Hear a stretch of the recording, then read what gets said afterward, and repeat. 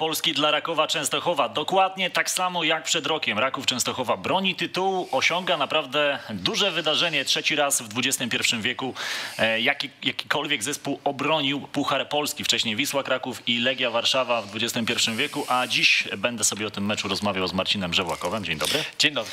Marcin, e, mecz, e, który sobie wspólnie zresztą obejrzeliśmy, nie zawiódł, bo nasze oczekiwania były raczej spokojne, powiedziałbym, pomimo tego, co działo się w finałach Pucharów Polski, że to nie były jakieś znakomite spotkania w tych ostatnich latach. Raczej na ogół mieliśmy spory niedosyt. Dzisiaj, już abstrahując w ogóle od wyniku, abstrahując od tego, że kto wygrał, to samo spotkanie naprawdę myślę, że bardzo ciekawe. Nie było jałowości. Tak naprawdę w każdym kwadransie tego meczu coś się działo, natomiast nie brakowało zaskoczeń, bo dla mnie trzy bramki Rakowa w momencie, kiedy według mnie wydawało się, że to Lech zaczyna układać sobie mecz. Nie wiem, czy to była myśl taktyczna trenera Papszuna, ale to było zrobione bardzo, bardzo skutecznie. Bramkę strzelał e, Raków Częstochowa. Natomiast patrząc na to, że kolejki ligowe, które pozostały, one jeszcze nie wyłoniły mistrza, ja też spodziewałem się dzisiaj takiego spokojnego meczu.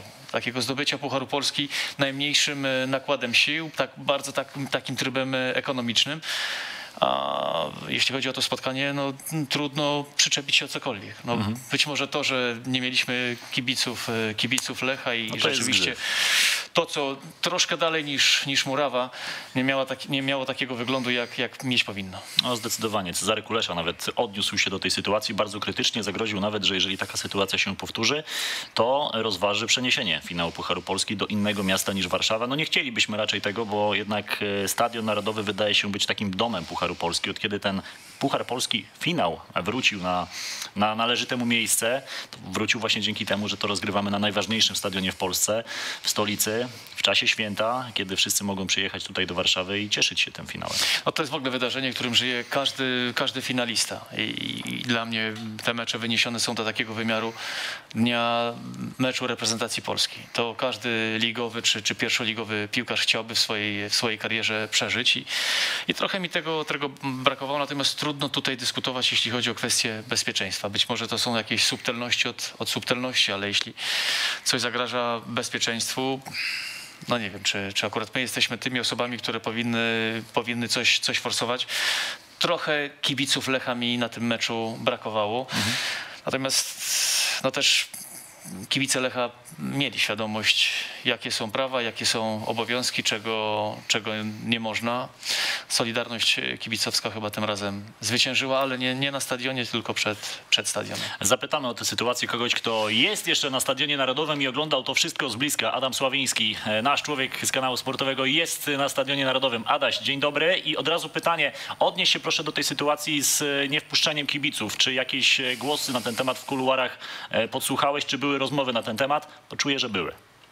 Cześć, cześć panowie. Mam nadzieję, że mnie dobrze słychać. Słuchaj, wiesz co, wygląda ta sytuacja mniej więcej tak, że w tym momencie, jak sobie wchodzę na social media i tutaj słucham, e, w jaki sposób ludzie się wypowiadają, to w tym momencie bardziej jest taka psychologia, przerzucanie e, winy z jednej strony na drugą. Widzę, już odniósł się do tego e, prezydent Trzaskowski, odniósł się także do tego prezes Polskiego Związku Piłki Nożnej Cezary Kulesza. W tym momencie gdzieś ta wina została zrzucona na Straż Pożarną domyślam się, że za chwilę będzie kolejne oświadczenie ze strony e, Straży Pożarnej. Jeżeli chodzi o taką atmosferę na stadionie, to też muszę powiedzieć, że tych kibiców na pewno mocno brakowało. Przede wszystkim e, takiego dopingu zorganizowanego nawet e, ze strony kibiców Rakowa Częstochowa, którzy weszli na stadion, natomiast poza jakimiś ewentualnymi wyzwiskami i manifestowaniu swoich e, humorów e, w związku z tą decyzją, no to musimy powiedzieć, że takiego zorganizowanego dopingu nie było. Dopiero w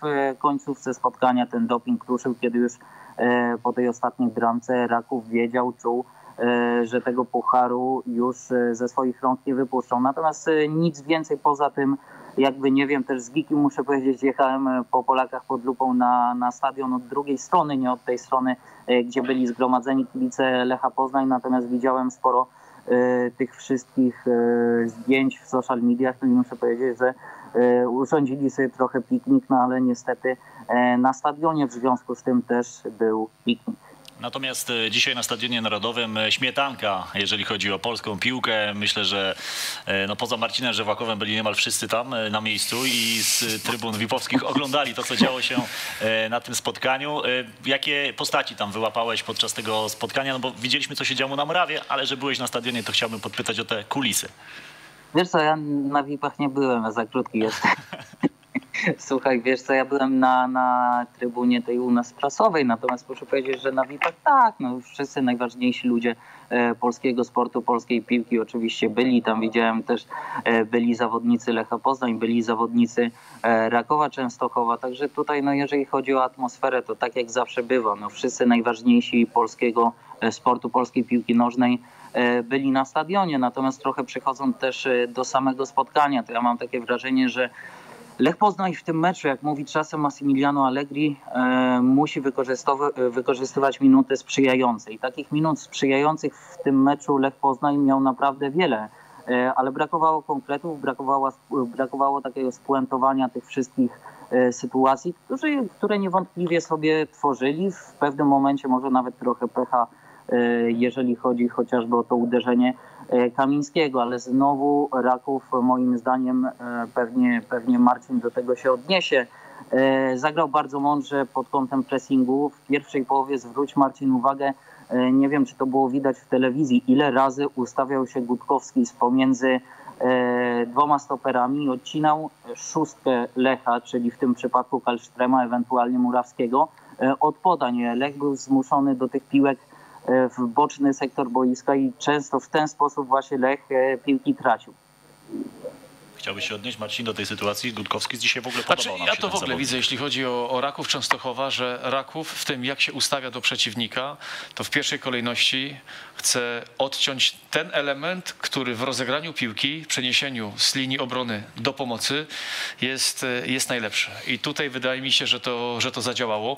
Widzieliśmy, że tak naprawdę strata była w bocznym se sektorze przy przy golu Gutkowskisa, do, nie, to Wdowiaka, to, Wdowiaka, to, na 2-0. Wdowiaka, Joel Pereira. Oczywiście złe przyjęcie, momentalnie dopadli, a później to już jest automat, który jest wyliczony co do podania i co do sekundy. Dwa dobre podania.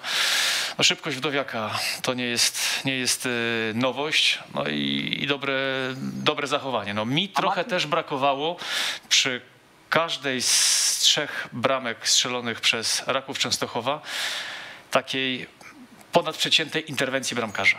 Wydaje mi się, że okej, no nie zrobimy z, z Vandenharta winnego, natomiast chociaż przy jednej bramce, no chciałbym w takim meczu, żeby, żeby bramkarz coś, coś odbił, coś, coś wybronił. Był taki moment, kiedy bramkę strzelił e, Amaral, że to trochę psychologię wykręciło i widać było, że Lech zabiera się dużo bardziej ochoczo, z dużo większą wiarą i, i zaczyna się tak pozytywnie nakręcać. I trzeci raz wyszła, wyszła, no nie wiem, czy to można powiedzieć kontra, ale akcja, konkretna akcja Rakowa Częstochowa i ten, no niezłomny, niezawodny Iwi Lopez. Jeśli Iwi Lopez nie dostanie nagrody najlepszego piłkarza w tym sezonie, jeśli chodzi o naszą ekstraklasę, to znaczy, Będziesz że, zaskoczony? że ja się nie znam, nie umiem, nie rozumiem i, i logika piłki nożnej jest, jest wykręcona. Ten, ten facet dla Rakowa Częstochowa jest w tym sezonie nieoceniony. Mhm. Adaś, no właśnie, z perspektywy stadionu, kto dla ciebie piłkarzem meczu tego finału? Wiesz co, nie, no tutaj akurat dyskutować myślę nie możemy. Iwi Lopez e, był e, kapitalnym zawodnikiem e, w tym, w tym spotkaniu. Znowu to on przesądził o, o kluczowym e, meczu. Natomiast e, wyróżniłbym też Gutkowskisa, bo zwróćmy uwagę, e, ile z tego chłopaka się śmiano, chociażby po takim meczu e, z Niecieczą, ilu sytuacji nie wykorzystał. Natomiast e, biorąc pod uwagę rozgrywki ligowe, to jest chyba 11 goli w tym sezonie, to wcale nie jest e, taki zły rezultat, biorąc pod uwagę to też, e, ile pracy wykonuje takiej, której Marek Papszun potrzebuje, a więc e, w takiej pracy taktycznej, tytanicznej, to co mówiłem, też odcinanie niektórych zawodników przy rozegraniu piłki E, i dzisiaj znowu otwiera wynik w, w kluczowym meczu, a też to, co mówiliśmy w programie e, przed tym spotkaniem. Lech, jeżeli obejmuje prowadzenie w danym spotkaniu, e, no to takich meczów nie przegrywa, bo takich meczów było już e, 23 w tym sezonie, 21 zwycięstw e, i tylko dwa remisy w, w tego typu sytuacjach, kiedy Lech obejmował prowadzenie. Także tutaj brawa dla e, Rakowa, że e, szybko to prowadzenie objęli. E, Jeżeli chodzi o Lecha, myślę, wyróżniłbym Kamińskiego.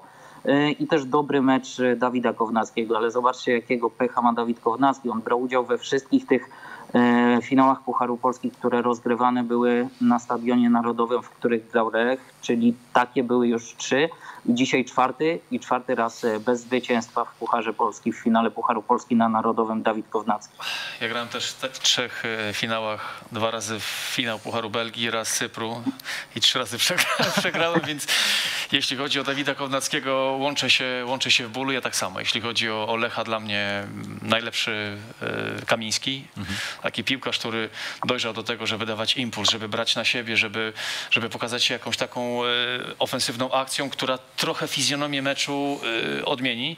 Natomiast jakiś taki dzisiaj był niesynchronizowany. Nie chcę powiedzieć, że zły, ale Isak, tak jak zawsze, dobrze stoi, wie gdzie wbiec. Te dośrodkowania trafiają na jego głowę. To dzisiaj pierwsza połowa, kompletnie nie mogli odnaleźć Isaka. Poza polem karnym. Mieliśmy chyba w drugiej połowie taki fajny strzał e, Isaka, ale to był taki jedyny. poprzeczką, tak. I w drugiej połowie tak, habo, tak samo chyba miał jedną sytuację, której nie wykorzystał, gdzie tam sięgał piłkę trochę na, na wślizgu. Ale dzisiaj tak jakby albo metra, albo dokładnego podania, albo odrobiny, nie wiem, ułamka sekundy brakowało mu, żeby to było w stylu Isaka, zagrane, przyjęte, włożone.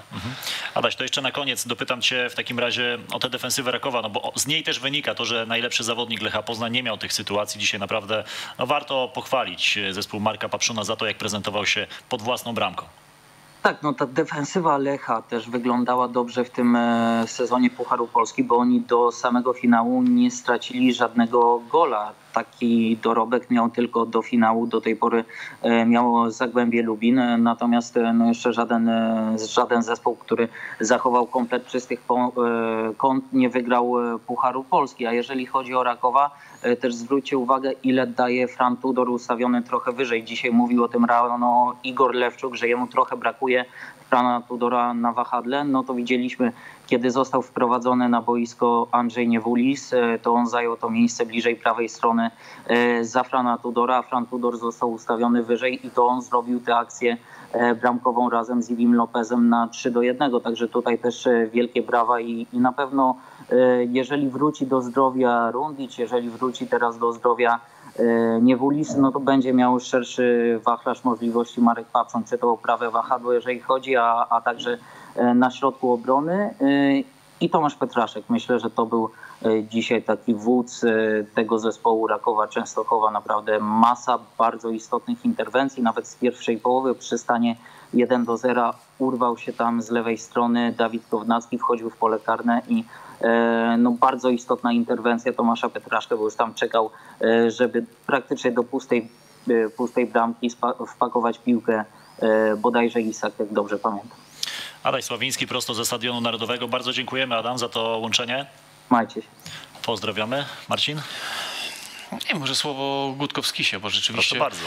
Bo Ja też byłem, go dzisiaj ja też byłem tym piłkarzem, który pod względem skuteczności, no mam do napastnika drużyny, która grała Mistrzostwo Polskie kilka zastrzeżeń i dla mnie Gutek strzelał takie bramki robocze, natomiast w sytuacji, kiedy trzeba było się pokazać i strzelić kilka bramek, z których zostanie zapamiętany, no mi pozostała bramka chyba z Rubinem Kazań, to jego wejście. Pamiętam w tamtym sezonie jeszcze piękny gol w Częstochowie przeciwko Piastowi. Natomiast takich goli jak dzisiaj mi trochę w CV Gutka brakowało. Brakuje. Zwłaszcza jako piłkarza drużyny, która grała mistrzostwo, bo nie wiem, Gutek 8 bramek w lidze? To też nie jest taki wynik, to nie jest zły wynik, ale to nie jest wynik, który powala. I patrząc na minuty, które, które gra, rzeczywiście ta specyfika pracy napastnika u, u Papszuna, ona jest wredna, żeby nie powiedzieć czasem, no nie każdy jest w stanie to, to jest kierat. Natomiast dzisiejsza bramka mam nadzieję, że będzie takim, takim podłożem, nie mogę powiedzieć początkiem, ale podłożem pod to, że, że Gutka też będziemy pamiętali z takich akcji, które, na które chce się ze trzy, ze cztery razy pod rząd obejrzeć, jeszcze raz, e, jeszcze raz przewinąć i, i wyjść na boisko i to, i to powtórzyć. Dzisiaj zachował się, no jak, chyba w komentarzu nawet padło, jak, jak Benzema, jak, e, Padły porównania mocne, jak, tak, to e, prawda. Bardzo podobnie jak Pajszao w meczu z e, Zagłębiem, e, Zagłębiem Lubin, więc dzisiejsza bramka Gutkowskisa palce lizać. Ekstra. Łączymy się z kolejnym naszym gościem. Bartek Gleń, Kanal Plus jest już naszym gościem. Witamy Bartku. Cześć, cześć, witam was Czy serdecznie. też rozpływasz się tak bardzo nad Gutkowskisem i Iwim Lopezem, tak jak my tutaj w studio po tym finale Pucharu Polski? Ja chciałem tylko powiedzieć, że bardzo się cieszę, że mogę dołączyć do takiego grona fachowców. Bardzo sobie cenię Marcina Żywłakowa, jego spojrzenie na piłkę. Postaram się nie przeszkadzać, po, powiedzieć coś w miarę przyzwoitego. Ja wam powiem tak, że na ten mecz sobie patrzyłem w kontekście y, takim szerszym, czyli Marek Papszun kontra Maciej Skorża i nie ma przypadku absolutnie w tym, że ten bilans y, Papszun-Skorża jest trzy zwycięstwa Raków, remis i zero zwycięstw trenera y, Skorży. Te mecze już były rozgrywane w ostatnich miesiącach. Lech miał zawsze trudności. Raków ma człowieka wielkiej sceny, czyli y, Iwiego Lopeza, który przy tej atencji, przy Jupiterach, których może akurat dzisiaj nie było, ale były na przykład w Szczecinie, czuje się fenomenalnie. Y, To był człowiek, który dzisiaj powinien mieć bilans bramka i, i dwie asysty, ale zmarnował jego wysiłek y, Soresku. I takie hasło, które chodziło mi po głowie od jakiegoś czasu, ale nie byłem w stanie go doprecyzować. Natomiast dzisiaj chyba mi się udało, czyli y, Raków potrafi psuć samopoczucie jak mało kto. Bo to samopoczucie Lecha było dobre do piątej minuty, do momentu, kiedy trafiła piłka do Gutkowskisa i ten Gutkowskis w tych ostatnich tygodniach to jest taka wersja, powiedziałbym, 2-0. Człowieka, który no, potrafi zadać ból każdej drużynie. No tak, upgrade rzeczywiście wszedł chyba, został wgrany do, do tego e, wachlarza z wodów Gutkowskisa. Przepiękny gol. Natomiast tu w nawiązaniu do, do, do Bartka, rzeczywiście ten humor Lecha co jakiś czas się poprawiał, ale Raków znowu go psuł. I tak jak potrafił przegonić e, Chmurzyska i znowu wejść na odpowiedni, odpowiedni poziom, no to nie wiem, no, to, to już trzeba, trzy razy to nie jest przypadek, to już jest miniseria, to trzeba oddać, że rzeczywiście analitycznie i, i tak jakby pod względem scenariusza trener Marek Papszun przewidział, bo to też trzeba odgadnąć trochę swojego przeciwnika. Siadasz w sz- w szatni i mówisz, panowie, ten mecz od początku może wyglądać tak, tak, tak, w tej sytuacji to, to, to. Gdyby plan B nastąpiło to, to, to my... I dzisiaj zawodnicy Rakowa, mimo tego, że grali nie lubię tego niski pressing. Dla mnie to jest w tej y, głębokiej obronie albo w tej głębszej obronie, to tam nie było paniki. Oni dalej wiedzieli, co mają robić, oni dalej zachowywali się według pewnego planu i czekali tylko na odpowiedni moment, żeby coś tam się między jednym zawodnikiem a, a drugim zawodnikiem rozszerzyło. Zagranie, dziękuję, 2 do 0. Przy 2 do 0 już jest kompletna zmiana podejścia, to już potrzebna jest i rozmowa, i na moment zejść do, do szatni, troszkę oczyścić głowę. I widać było, że Lech znowu wszedł z nową energią. Strzelony gol, Nakręcił mocno. ale to nie wstrząsnęło Rakowem Częstochowa, który potrafił utrzymać pewnego rodzaju gardę, trzeci cios i, i wtedy tak naprawdę już prawie było po meczu.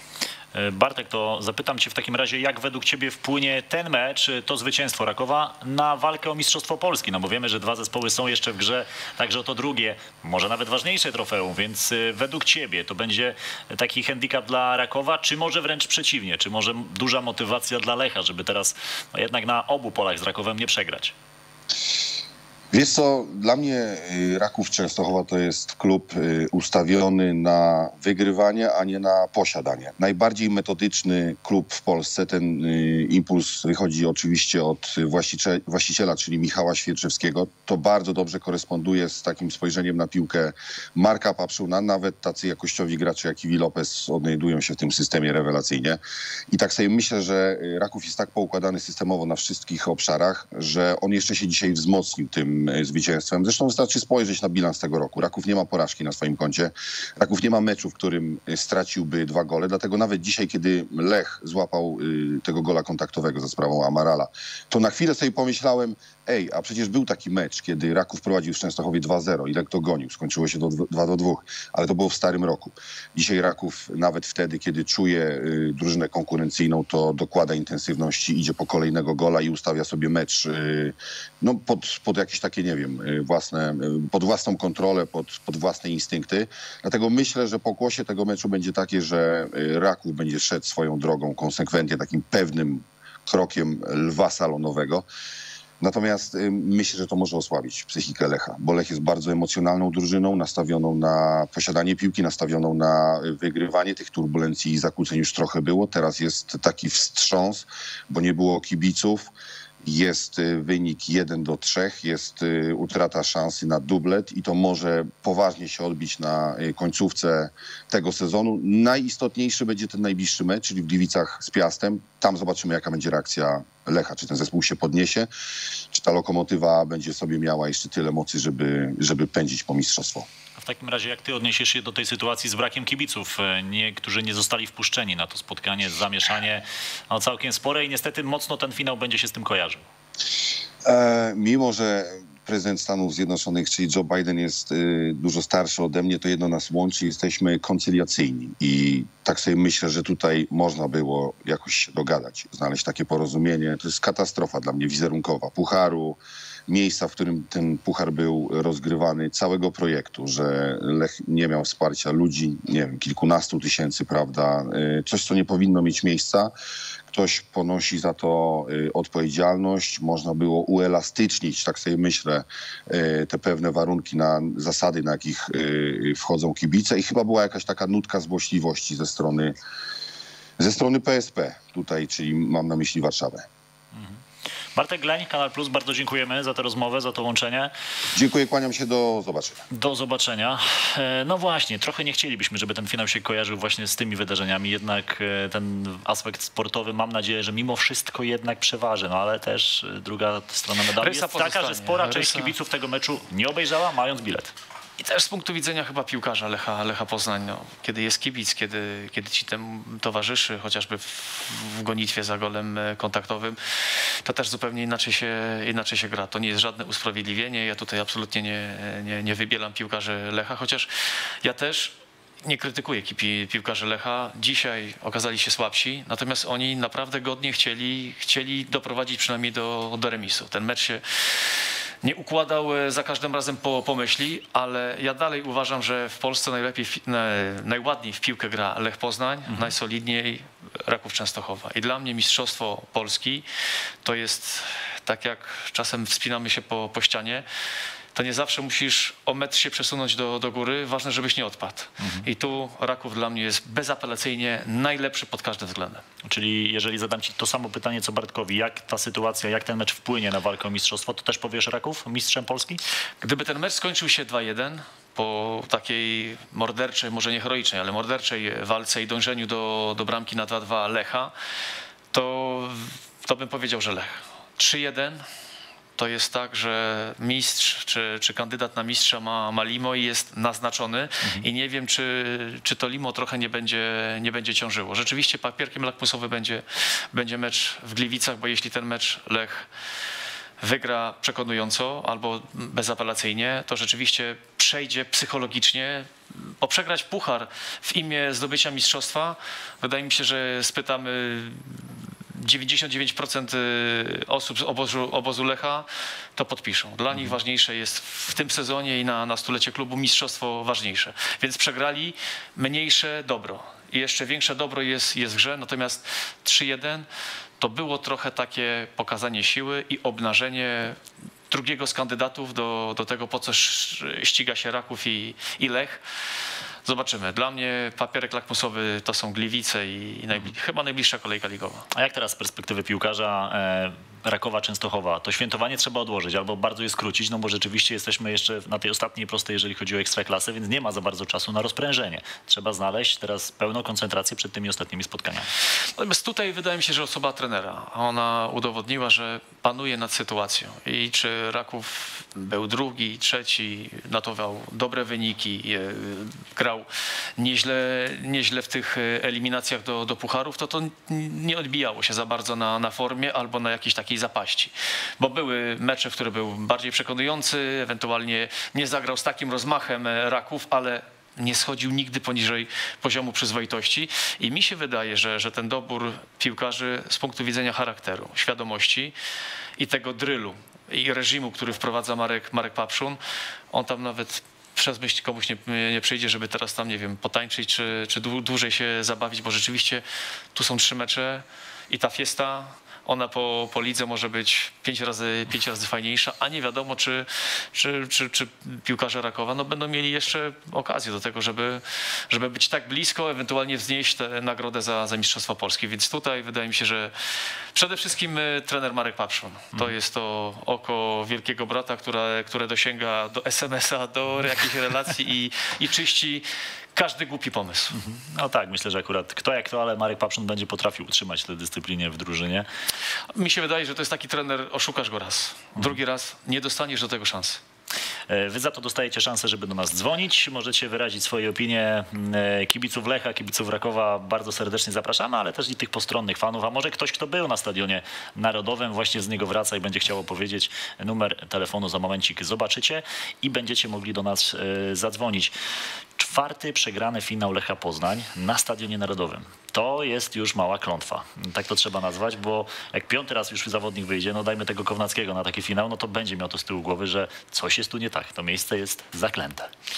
No są takie, czy drużyny, które nie leżą, stadiony, które, które nie leżą, czy, czy mecze, które, nie wiem, półfinał, ćwierćfinał jest ten taki, który kończy, który kończy do, dążenie, to rzeczywiście tutaj ten narodowy i, i finał Pucharu Polski no, może być odbierany jako mecz, którego nie da się, nie da się wygrać. Natomiast ja na te, na te rzeczy to zawsze patrzyłem inaczej. Pierwsza rzecz to nie opowiadaj tego swoim zawodnikom, bo to siła nieświadomości w tym momencie działa tak, że ktoś, kto nie wie, że to jest problemem, to przychodzi i, to, i jest w stanie to, to osiągnąć albo to, to zdziałać. A druga rzecz, no ten, który to zwalczy, no będzie, będzie rósł do, do rozmiarów, no może nie jakiegoś wielkiego bohatera, ale małego, małego czarodzieja. Więc ja zawsze na te, na te takie niezdobyte albo niekończące się serie, fatum, klątwę, e, traumę, to w ten sposób patrzyłem. Ja pamiętam też, zagrałem w takim jednym meczu. Co prawda nie wiedziałem, że Apoel nigdy nie wygrał na Anortozis w lidze od 18 lat. No i siła nieświadomości zadziałała 2-1. Wygraliśmy mistrzostwo. strzeliłeś nie? Strzeliłem, strzeliłem. Chociaż siedziałem na, na ławce, szedłem w 46 minucie. Mhm. Ale to dlatego dla mnie, ja statystyk, jakichś takich ciężkich rzeczy nigdy nie zabierałem do szatni i jako trener to też starałbym się wyciszyć, chociaż dzisiaj przy, przy ciężko. mediach, No przy właśnie. wszystkich relacjach, przy tych e, natłoku informacji i, i sprawozdań, no ciężko cokolwiek o, ominąć. My nie omijamy też kolejnego łączenia. Mateusz Rokuszewski będzie z nami, też człowiek, który oglądał to, to spotkanie z bliska. Witaj Mateusz. E, Cześć, cześć. Dużo chwalimy dzisiaj Raków Częstochowa, dużo chwalimy Iwiego Lopeza. Twój ogląd na to, co wydarzyło się dzisiaj na Stadionie Narodowym po tym spotkaniu już. No na pewno bardzo dobrze ten mecz się Rakowowi ułożył, ale też Raków dużo zrobił, żeby ten mecz tak dobrze się ułożył. Wydaje mi się, że bardziej trafił ze składem Marek Papszun niż e, Maciej Skorża. Chyba trochę trener Lecha przekombinował, bo e, wydaje mi się, że jeśli masz e, tak kreatywnego piłkarza w swoich szeregach, no to jednak wystawiasz go od pierwszej minuty i próbujesz grać to, co wychodzi przy w lidze w zasadzie przez cały sezon. I tutaj Marek Papszun jednak postawił na sprawdzone rozwiązania, może tą, poza tą pozycją bramkarza, gdzie musiał dokonać zmiany, gdyż no, musisz wystawić dwóch e, młodzieżowców. E, I to była dzisiaj siła Rakowa Częstochowa. Taka, może ktoś powie przewidywalność, ale oni w tej przewidywalności, e, przy tej przewidywalności cały czas trwają i, e, i od dawna się mówi, jeszcze jak grali w pierwszej lidze, czy w pierwszym sezonie w Ekstraklasie, że w końcu ktoś znajdzie na nich e, patent, że e, potrzeba czegoś więcej oni udowadniają, że niekoniecznie. No właśnie, Marcin, e, Mateusz, Marcin, Marcina zostawię na razie z boku. E, Mateusz, jak wpływa to w takim razie na ostatnią prostą w walce o mistrzostwo w Ekstraklasie? Bo na razie goście, e, czy Marcin, czy, czy wcześniej Bartek Gleń powiedzieli, że, że Raków, że, że to ich wręcz podbuduje. Jak ty widzisz w takim razie tę walkę w samej końcówce? Wydaje mi się, że to taki typowy spór rabinów. Jeden ci powie, że rzeczywiście to będzie taka dolewka paliwa do baku i to sprawi, że Raków jeszcze mocniej się e, napędzi i no nie da szans kolejnym ligowym przeciwnikom. E, No a ktoś może też powiedzieć, że wkradnie się drużynie trochę rozprężenia e, i to wpłynie negatywnie, ale tak znając Marka Papszuna, wiedząc jaka jest świadomość w klubie, jak wygląda ich codzienna praca, no to wydaje mi się, że oni na to nie pozwolą, że, że jednak Raków będzie cały czas na tym skupiony. Także to nie jest tak, że ten terminarz jest tak prosty, że te mecze do końca wygrają się same, bo no, z Krakowią Rakowowi na pewno nie idzie. E, Zagłębie walczy o życie, Lechia walczy o czwarte miejsce, więc to nie będzie żaden spacerek. No ale jednak dzisiaj Raków też pokazał, że, e, że ma, powiedziałbym też głębie składu. No to, e, to może w końcówce być bardzo ważne.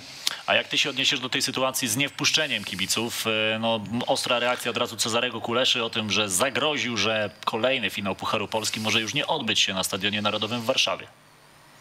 No szkoda, że to święto zostało tak zepsute. Jeszcze wam powiem, nie wiem czy, czy słyszeliście może, ale ja widząc, y, widziałem z trybuny prasowej dodatkową taką sytuację e, bardzo niepokojącą. Nie powiem, że jakiś skandal, ale, e, ale no był reanimowany jeden z kibiców e, Lecha Poznań. E, jeden z fotoreporterów e, zaczął robić zdjęcia e, właśnie ratownikom medycznym, którzy dokonywali tej reanimacji e, i piłkarze Lecha Poznań e, bardzo stanowczo zareagowali. Doszło do przepychanek na murawie. Piłkarze długo nie chcieli odebrać tych srebrnych medali, dlatego e, celebracja się trochę opóźniła. Szkoda, że takie wypadki mają miejsce. Mam nadzieję oczywiście, że z kibicem Lecha Poznań będzie wszystko w porządku. No, był dzisiaj duży potencjał na piłkarskie święto, a niestety e, cały czas można powiedzieć, że to święto było, bo pod względem piłkarskim to było świetne widowisko, ale, e, no, ale pewnie niepełne, bo gdyby byli kibice Lecha na trybunach, no to oglądałoby się to wręcz kapitalnie. Ale ty wyobrażasz sobie w ogóle taką sytuację, że może rzeczywiście dojść do tego, że za rok finału Pucharu Polski nie będziemy rozgrywali na Narodowym? No, w tej chwili ciężko powiedzieć, ale potrafię sobie to jak najbardziej e, wytłumaczyć, znaczy potrafię sobie to jak najbardziej wyobrazić. Mateusz Orkuszewski, bardzo dziękujemy za to łączenie. Mateusz? Dzięki. Nie chcielibyśmy na pewno takiej sytuacji. Już przywykliśmy do tego, że to jest wielkie piłkarskie święto, że kibice z całej Polski e, wszelkimi środkami lokomocji tutaj dostają się do Warszawy i dobrze by było, żeby, tak jak chyba Bartek Glań powiedział, żeby dogadać się po prostu w tej kwestii. Ja też wierzę mimo wszystko w dialog, że, że tutaj usiądą dwie, dwie strony, coś wyznaczą, każdy troszkę odpuści, coś, coś ugra i rzeczywiście to wspólne rozwiązanie pozwoli po raz kolejny oglądać mecz finału Pucharu Polski na Narodowym, bo, bo to naprawdę ma sens. No ja ostatnio rozmawiałem z Kamilem Kosowskim, który opowiadał mi, przepraszam, tutaj nie uważając małym miejscowościom czy, czy mniejszym miastom, ale Jasne. Starachowice czy na przykład Bełchatów, to były areny finału Pucharu Polski.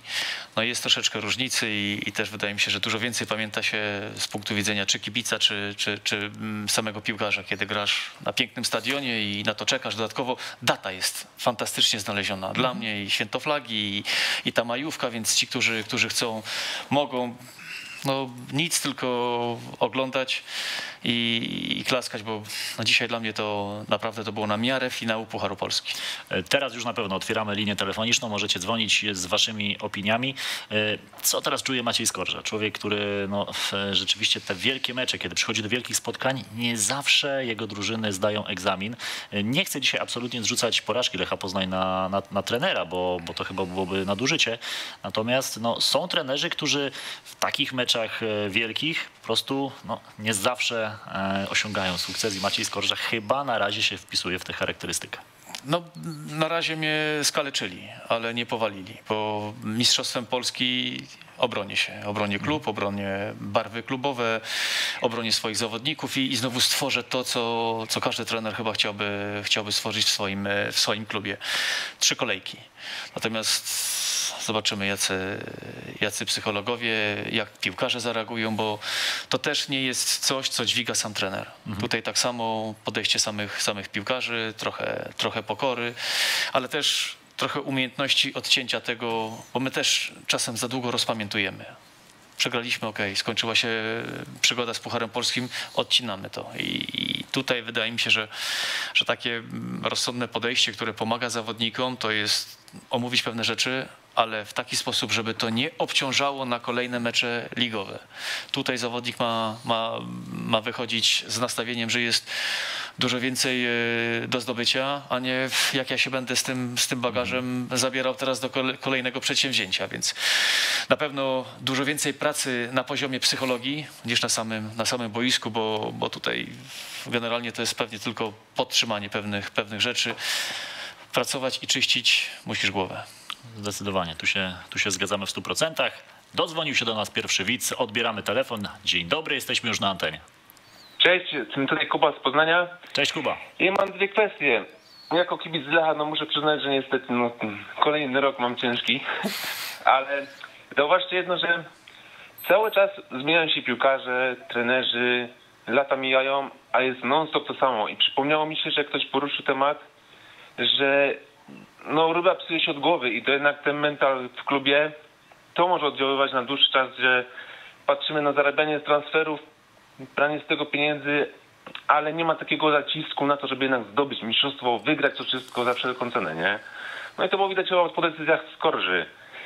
A druga kwestia, no to taka, że ponoć wiceprezes PZPN zapraszał wszystkich mm, za rok do Chorzowa 2 maja. Więc ponoć decyzja jest podjęta i chyba dobrze, że mamy takiego prezesa i wiceprezesa, który nie pieści się i nie ulega żadnym tam presjom i podejmuje decyzję, żeby jednak to było święto kibicowskie dla kibiców.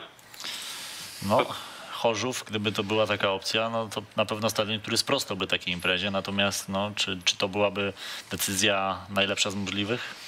Szczerze, byłem na finale, na finale Pucharu Polski w Chorzowie i naprawdę no to było święto kibicowskie. Pomimo tego, że gospodarzem był jednak teoretycznie no ruch, no bo to był finał z ruchem Chorzów, ale naprawdę sprostało to i dało radę. Ja tak samo, jeśli chodzi o Stadion Śląski, to jeśli Stadion Narodowy, bo i to nie to, że ja jestem warszawiakiem, czy mieszkam w Warszawie.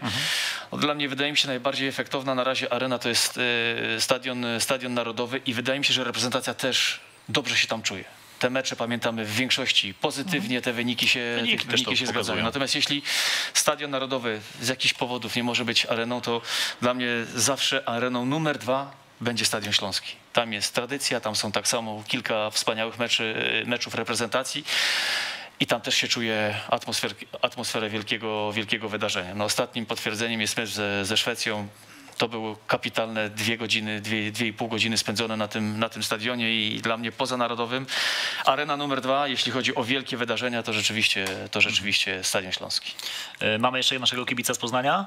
Tak, ja tylko chciałbym podać taki przykład z NFL, z amerykański, że tam finały wybiera się już kilka lat do przodu. Jeżeli ktoś spełnia wymogi, buduje taki stadion, żeby to, tam to organizować, żeby to jednak krążył po Polsce. Wiadomo, że jak będzie finał w Białymstoku, będą drużyny ze Śląska czy z Wielkopolski, to będzie trudno dla kibiców, ale myślę, że oni pojadą za, przez cały kraj, jednak jeżeli będą warunki z flagami, ze wszystkim po prostu, żeby kibicować. I myślę, że to byłby dobry pomysł po prostu takiej organizacji. Natomiast Tyle ode mnie, dzięki bardzo. Dzięki bardzo, pozdrawiamy. Dzięki za ten telefon. No, my w sumie też mamy z góry założenie, że przyszłe lata finał Pucharu Polski ma być na Stadionie Narodowym. To, to jest sytuacja teraz jakaś wyjątkowa, że my rozmawiamy, że może by do tego nie doszło, patrząc na to, co powiedział, co właściwie napisał e, na Twitterze Cezary Kulesza. No ja też ja liczę, że, że tutaj mimo wszystko panowie usiądą i, i, i porozmawiają. To nie będzie przeciągania liny albo pokazywania, kto jest, kto jest mocniejszy i kto komu może pogrozić palcem albo cokolwiek, cokolwiek zblokować. To było takie budowanie pewnego rodzaju tradycji, która wydaje mi się, którą świat, świat naszej polskiej piłki i sympatyków Pucharu Polski kupił i na nią czeka.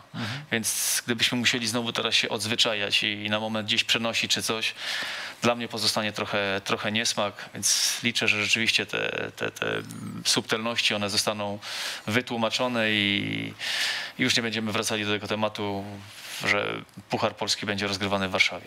E, Mamy kolejnego widza, który się do nas dodzwonił. Odbieramy telefon. Dzień dobry, jesteśmy już na antenie. Dzień dobry. Dzwoni Marcin z Gdańska i jak coś, no to ja zapraszam wszystkich na finał w przyszłym roku do Gdańska też. Też piękna arena, też piękny stadion macie. Tak. Korzystamy z 40 tysięcy ekstra turystów na majówkę, także zapraszamy serdecznie. Ja mam takie pytanie. Mm, Czy panowie sądzą, że polska piłka idzie w dobrym kierunku?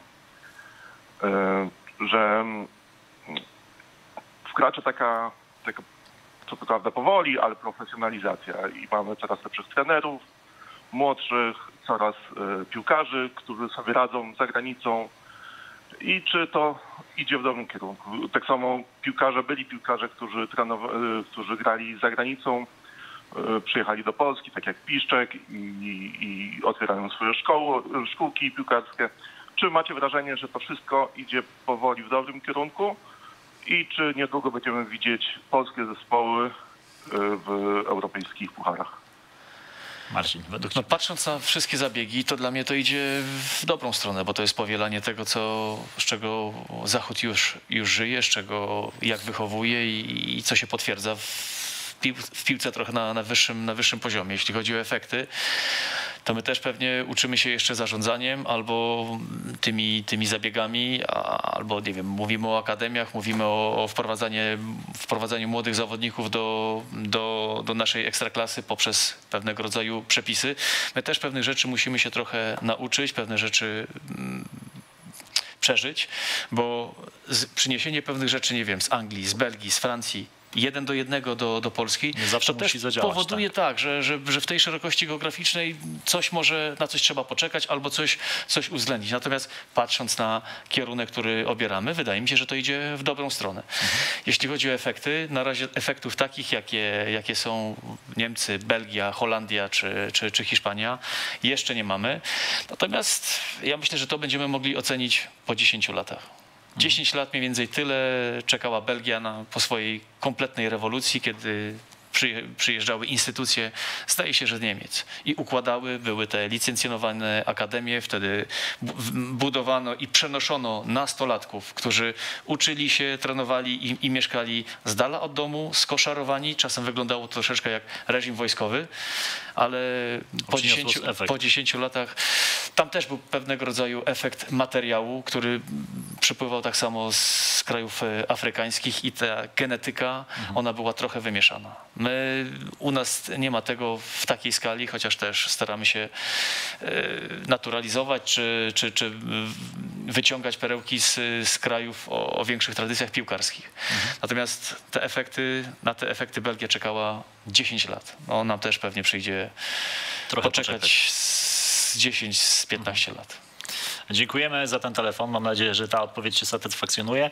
No zawsze, kiedy dochodzi do jakiejś rewolucji mniejszej lub większej, to na efekty trzeba poczekać, no bo to nie od razu e, piłka nożna, czy polskie kluby w europejskich pucharach będą sobie radzić tak, jakbyśmy sobie tego życzyli. Nie, to, Ostatnio to raczej... wynika też z tego, że spokojnie. to, że zmienimy ściany, to, że zmienimy szatnie, to nie powoduje, że piłkarz, który w niej siedzi, on się robi mentalnie lepszy. On rzeczywiście ma więcej być może ochoty do, do pracy. Być może te narzędzia czy, czy sposoby trenowania są bardziej przystępne.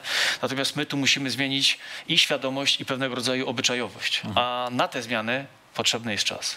E, Jaki finał Pucharu Polski ty zapamiętałeś, oprócz tego dzisiejszego? E, Taki, który pierwszy przychodzi ci do głowy z różnych względów. Możesz pominąć, czy to był super mecz, czy nie, ale z jakiegoś e, Jagiellonia. Białystok, Legia Warszawa.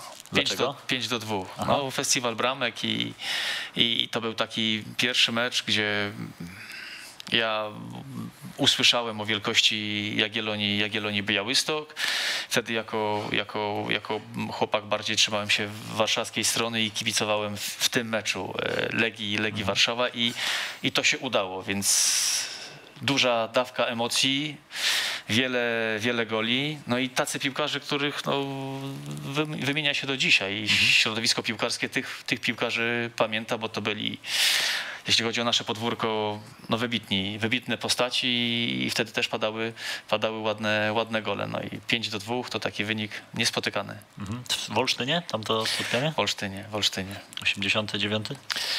Chyba tak, Czy, ale czy coś w tym... Tak, chyba, chyba nie tak. pamiętam. To pierwsze, co jak mnie pytasz o Puchar Polski, to, Mhm. to, właśnie, to właśnie to 90 minut Olsztyna. Okej. No, ciekawa odpowiedź. Nie spodziewałem się akurat, że ten finał e, wspomnisz. Jeszcze się do tego odniesiemy, a teraz odbierzemy kolejny telefon od naszego widza. Dobry wieczór, czy też jeszcze dzień dobry tak naprawdę. Jesteśmy już na antenie. Dzień dobry panowie, Y, Piotr z Poznania. Dzień dobry.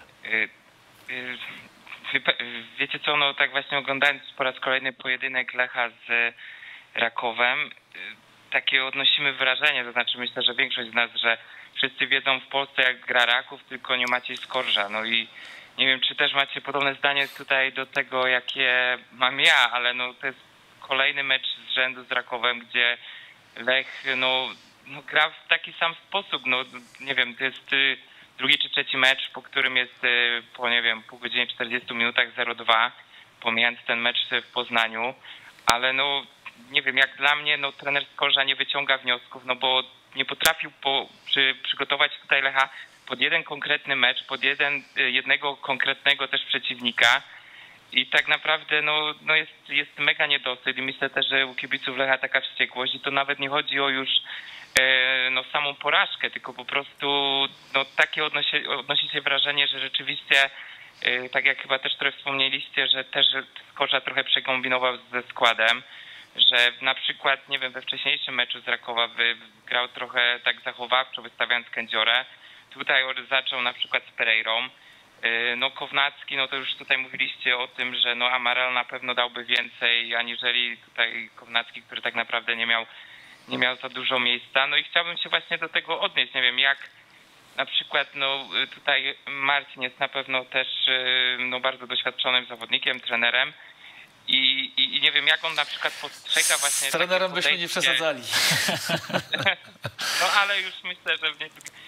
I, I generalnie no, no, no jest taki naprawdę taki, taki niesmak pozostaje, no bo tak naprawdę Paprz, trener Papszun po raz kolejny jakby przechyczył tutaj trenera Skorże no i jest taka naprawdę wściekłość, bo to już nawet nie chodzi o tą porażkę sportową, czysto sportowo, i, tylko po prostu, no nie wiem, wydaje mi się, że tutaj taktycznie, no po raz kolejny tutaj, no Skorża jakby też nie potrafił dźwignąć tego meczu y, tutaj z takim silnym przeciwnikiem, dobrze zorganizowanym i, i to tak najbardziej boli bo, bo chyba każdy też tutaj, nie wiem, w Polsce czy z nas się zgodzi z tym, że jeżeli chodzi o wartość taką czystą piłkarską, umiejętności sportowe, to wydaje mi się, że no, Żelek Poznań ma je jakby wyższe, ale no ten jeden tutaj jest taka wielka różnica, że trener patrząc z każdego zawodnika potrafi wycisnąć, nie wiem, 110%, a trener Skorza jakby tego potencjału nawet w tych 90% z niektórych zawodników, których ma w kadrze, no, no nie potrafi jakby uwolnić. I, I tutaj,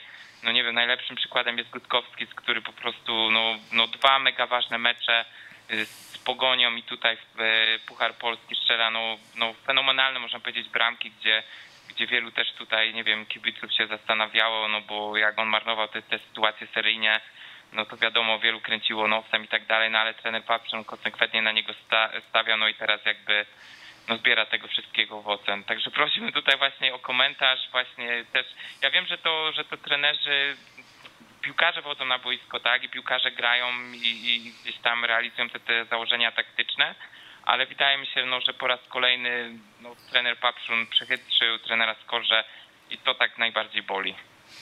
Dziękuję. Mhm. Dzięki za ten telefon. Ciekawa, ciekawa e, wypowiedź. No to co? E, bo na pewno jeżeli chodzi o Gutkowskisa, to się zgadzam, że myślę, że trener Papszun wyciska z niego ponad 100%. A ja z tych efektownych bramek zapomniałem o tej w Szczecinie, bo to też był mm. piękny gol. No Tam właśnie. z kolei jak Jean-Pierre Papin za dawnych czasów mm. przyjął piłkę i momentalnie kończył, kończył widok. No teraz czy ktokolwiek zaryzykowałby i powiedział, że, że Gutek w takim meczu zdecyduje się na takie rozwiązanie? No to jest czegoś, czego nie przewidzisz. Rzeczywiście to się ziściło. Tutaj dla mnie na przykład gol Iwiego Lopeza. To jest coś do przewidzenia, bo to jest pewnego rodzaju kopia zachowań z poprzednich, y, poprzednich y, kolejek.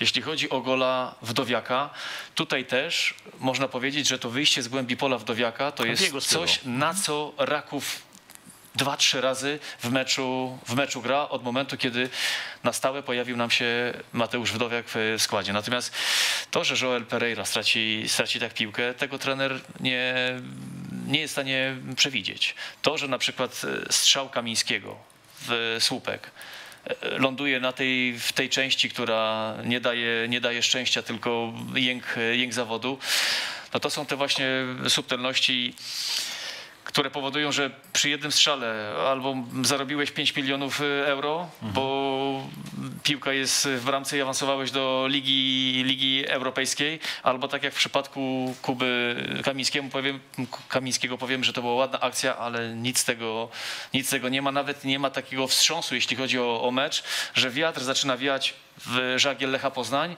a przestaje w Rakowa Częstochowa. Więc tutaj też będziemy rozmawiać o tym, co nam się podobało, mhm. bo ten mecz był żywiołowy i nie, może nie, nie, było akcji za, za akcję, ale w tym meczu nie było takich momentów 10-15 minutowych, że nic nie mhm.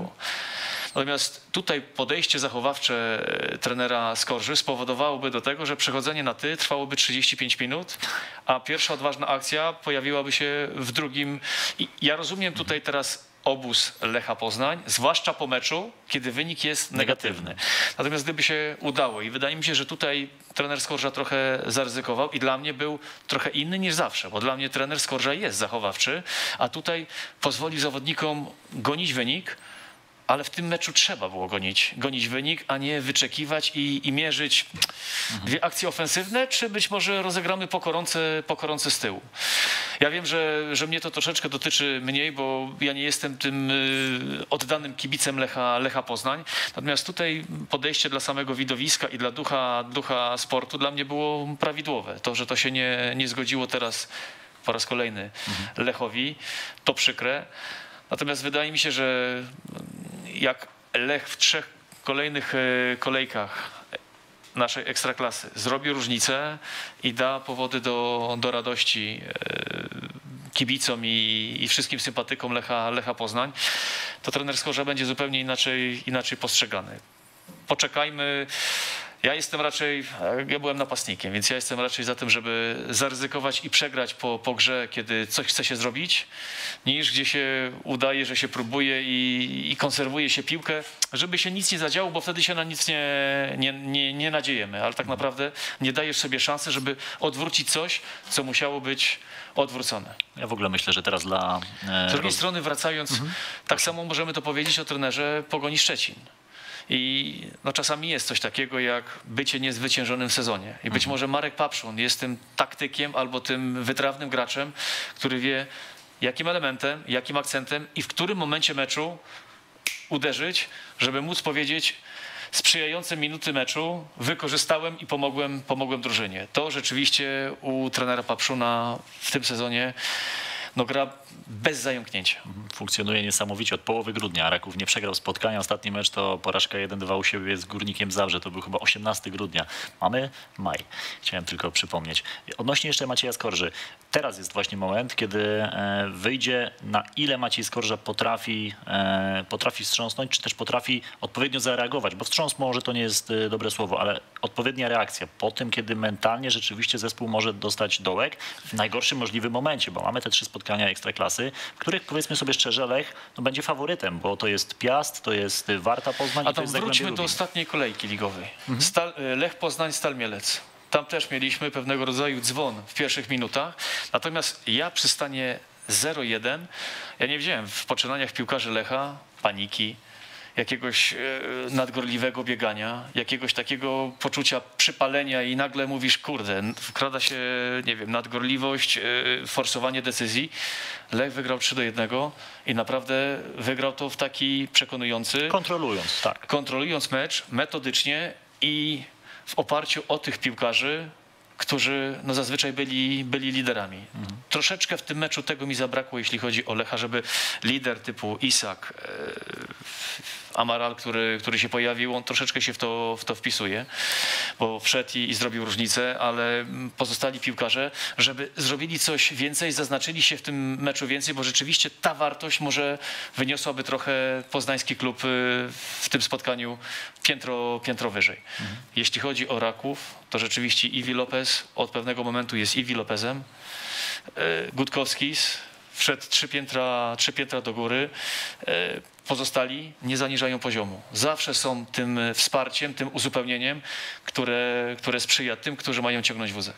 E, Odnośnie jeszcze Ekstraklasy, walkę o Mistrzostwo Polski mamy też e, ciekawą opcję dla naszych widzów e, wraz z Kanal Plus Online. Możecie znaleźć szczegóły w linku. E, Specjalna opcja właśnie dla kibiców kanału sportowego, no bo tam będziecie mogli oglądać, kto zdobędzie Mistrzostwo Polski, czy Raków Częstochowa, czy Lech Poznań. To na koniec właśnie, kto będzie mistrzem Polski. Krótka, krótka, krótkie pytanie i w miarę krótka odpowiedź. To teraz odsłonimy te kulisy. Ja mówiłem, że ci, którzy zdobędą Puchar Polski, nie zdobędą Mistrzostwa, mistrzostwa Polski. Natomiast ten, to 3-1 powoduje, że trochę się, trochę się waham, ale okej, ja dla mnie Raków zdobył mistrzostwo, mistrzostwo e, Puchar Polski. No muszę tutaj powiedzieć, że, że prze, przewrotnie, że Lech, że Lech będzie mistrzem, mistrzem Polski.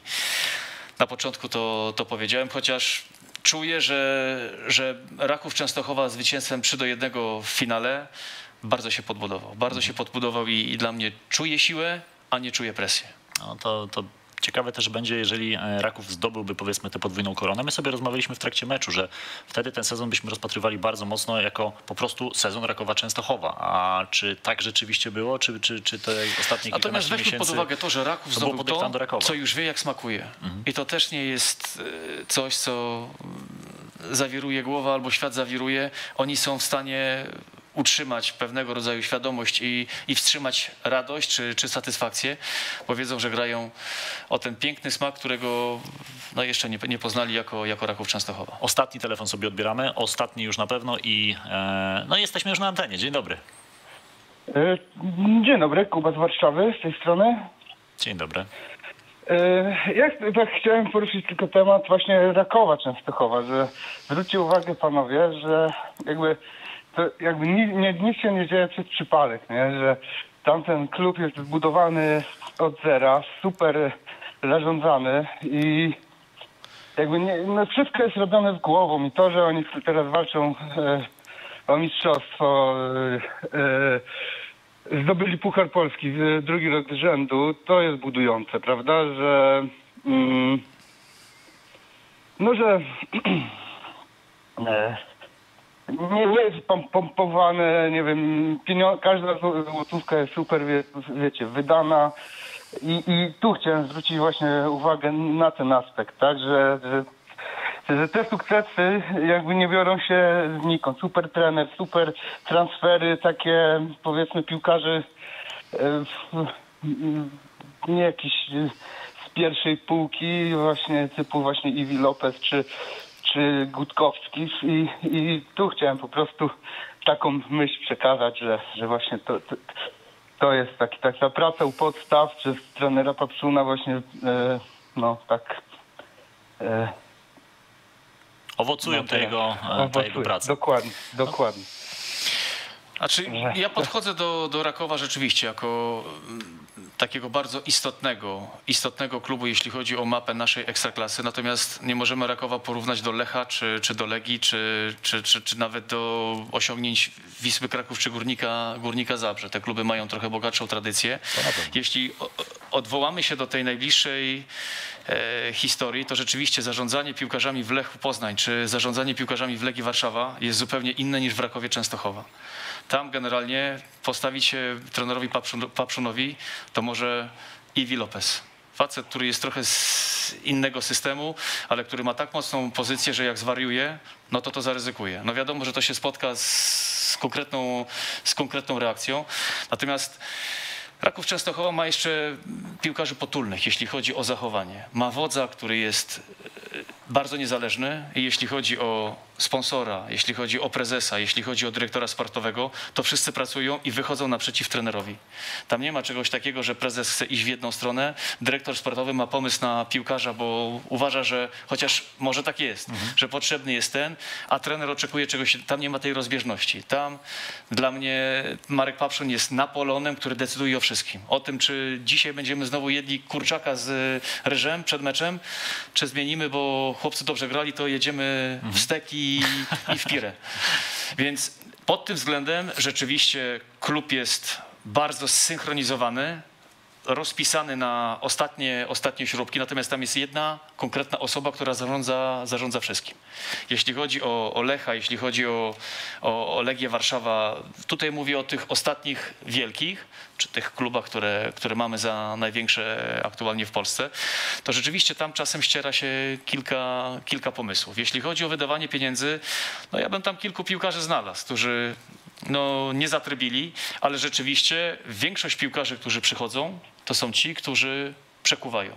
To czasem kosztuje dwa miesiące, to czasem kosztuje sześć miesięcy, ale jak skoczy, to rzeczywiście, no tutaj mam na przykład Mateusza Wdowiaka na, na względzie, że początek był taki, zastanawialiśmy się, da radę?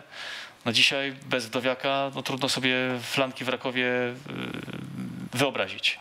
Więc pod tym względem dla mnie trener Papszun ma trochę, trochę łatwiej, tym bardziej, że sprawuje to albo dzierży to berło od kilkunastu, od kilku, od kilku lat, które były owocne. Z drugiej do pierwszej, z pierwszej do ekstraklasy, więc jest ta aura niezawodności, pewnego rodzaju dowożenia tematów i wydaje mi się, że to tak samo trochę trenerowi pomogło, jeśli chodzi o ekstraklasę.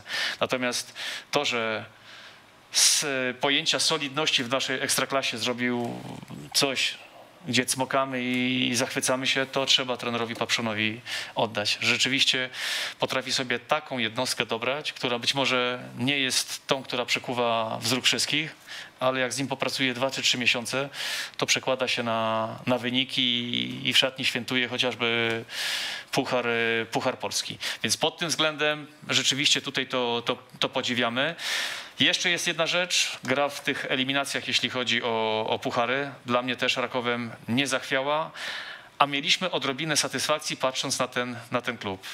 Chciałbym, jeśli to wszystko się zakończy pozytywnie dla, dla Rakowa, żeby w następnym sezonie ten klub zakwalifikował się do, do pucharów, bo po tym, co przeszedł i jaką pracę wykonał, od, od Papszuna do, do, do prezesa Cygana, wydaje mi się, że, że Częstochowie to się, to się należy.